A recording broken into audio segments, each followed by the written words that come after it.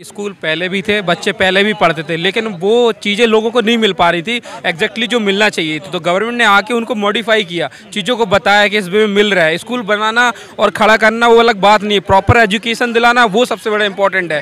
तो जो पुराने स्कूल को उनको अच्छे से मॉडिफाई किया और लोगों को बताया इन सारी चीज़ों को लेके। क्वालिटी मिली बड़ी चीज़ है क्वालिटी Exactly, अरविंद। अरविंद केजरीवाल ने क्वालिटी दी। अब एक चीज़ सुन लीजिए मैं इन भाई साहब का एक जवाब सौ की बात का एक जवाब दे देता हूँ उनका। अरविंद केजरीवाल ने मोहल्ला क्लिनिक चालू करा यहाँ जहाँ जहाँ बीजेपी की गवर्नमेंट है वहाँ तुम भी करा दो। पता लग जाएगा।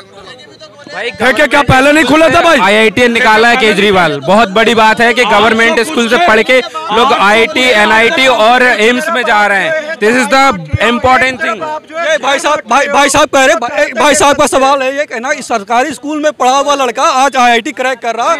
आईआईटी क्रैक करने के बाद पैसे नहीं हो पाते थे कि वे कोटा दिल्ली अफोर्ड कर पाए कोचिंग के लिए क्योंकि कोचिंग बहुत बड़ा व्यवसाय बन के रह गया था पर केजरीवाल ने वो सारी चीज़ें की आज साइड में हो गया वो सारी चीज़ें। लोगों को बेसिक नॉलेज से चीज़ें मिल रही हैं। नोएडा तो बाहर है दिल्ली की बात हो रही एक चीज़ एक बात बताइए। लेबर कोड लेबर कोड की मिनट साहब अरे भाई साहब कहना है।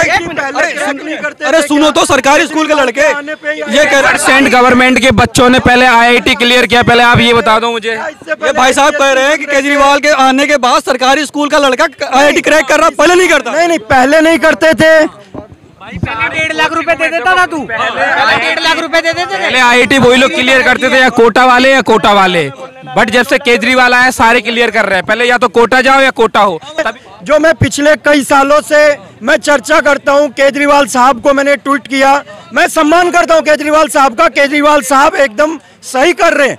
परंतु उनके जो सरकार में कुछ भ्रष्ट है उनके कारण सिसोदिया के यहाँ छापा भी पड़ा, ने डाला, मिला क्या? चीज़ और आपको बताता हूँ दिल्ली में जो इतने मतलब कि बुज़ुर्ग लोग हैं ठीक है जो ओल्ड एज है ओल्ड एज की पेंशन आज चार सालों से अटकी हुई है चार सालों से। यहाँ स्टेट की कि सेंटर की? स्टेट की स्टेट गवर्नमेंट की ओल्ड एज पेंशन पिछले चार सालों से अटकी हुई है। क्या सरकार के पास बजट नहीं है? क्या आ रही बता रहे आ रही पेंशन आ रही है फ्रस्ट्रेट हो गए हैं कि आम आदमी और माननीय मनीष सिसोदिया जी से। वो जान रहे हैं कि आम आदमी पार्टी आने वाले समय पूर्ण भारत में फुल बहुमत से आने वाली है। 24 का डर सता रहा है, इसलिए छापे, दारू घोटे, ये सारी चीज़ें हो रही है। और दिल्ली वालों को सौभाग्य के केजरीवाल जैसा नेता मिला। और मैं चाहता हूँ यूपी, एमपी हर जगह केजरीवाल आएगा, और ये डेफिनेटली है। आज नहीं तो कल, क्योंकि इतनी महँगाई, बेरोजगारी भ्रष्टाचार कब तक लोग करेंगे? ये सारी चीज़ें देखो, नहीं होने वाला है। क्योंकि एक ना एक दिन लोग जागेंगे, उठेंगे, और डेफिनेटली केजरीवाल पूरे भारत में आएगा। और वही बंदा ये सारी चीज़ें सही कर सकता है।